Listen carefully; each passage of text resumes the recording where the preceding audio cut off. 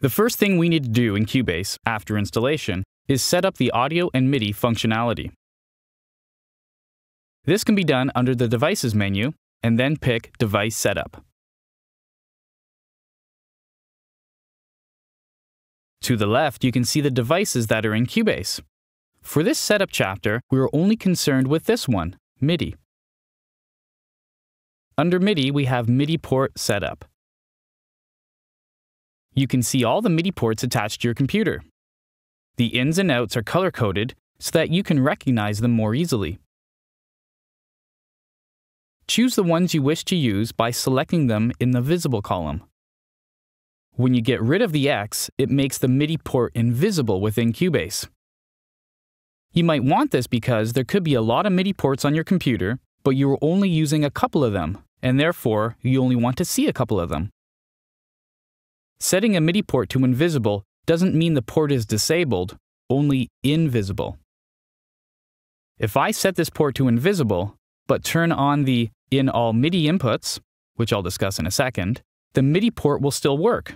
We just won't see it in the list of available inputs. The port system name is the name the computer gives the MIDI port. Show As is where you can rename the port to anything you like. This device's name is too long, so let's rename it. Feel free to rename your other devices to names you are more likely to recognize. Since this keyboard is just a controller keyboard with no sounds, we don't need Cubase to show it as an output.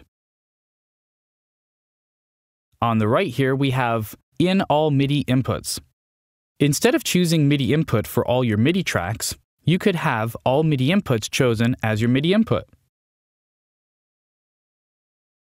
This makes things quicker, especially if you have a lot of different inputs and you want any one of them to be able to send MIDI data to your MIDI track.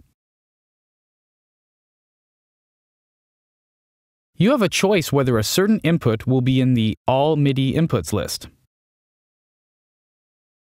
This is good if there is a MIDI input you are using that only receives MIDI clock or remote controller information,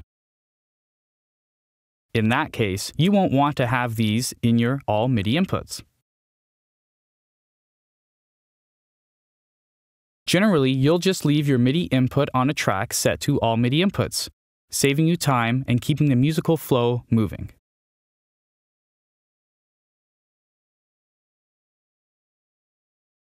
The state column lets you know if the ins and outs are being used or not in the current Cubase project. If you're on the PC, you can select Use System Timestamp for Windows MIDI inputs here. This allows for better MIDI precision. The Reset button returns all the MIDI ports to their default names and makes them all visible. And that's it for MIDI setup. If you are used to earlier versions of Cubase, you'll notice that in Cubase 5, things have been streamlined and simplified. Move on to the next chapter to set up your audio hardware.